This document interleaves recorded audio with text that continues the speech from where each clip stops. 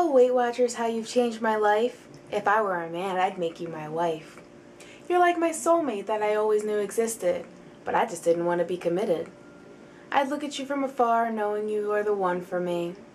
But I was just too selfish, you see. For the donuts and pizza had my heart.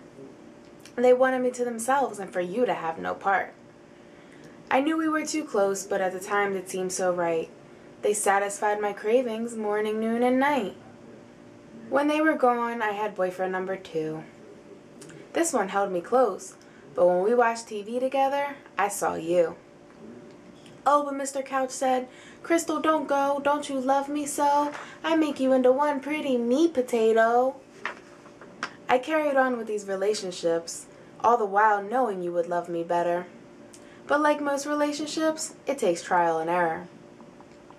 But deep down, I knew this couldn't go on forever. It was time for something new. I needed something more. It was time to get off the couch and for my feet to hit the floor. J. Hud said, It's a new dawn, it's a new day, and I wanted to feel that way.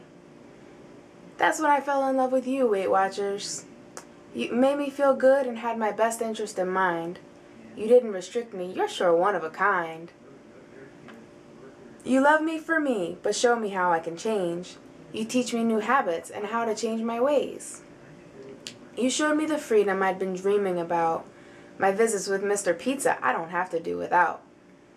But these days, we're just friends. I make sure our visits come to an end. That Mr. Couch?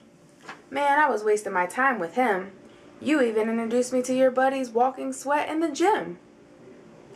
Now my heart belongs to you. But it's not completely yours, you see. For when you stole my love from food, you taught me how to truly fall in love with me.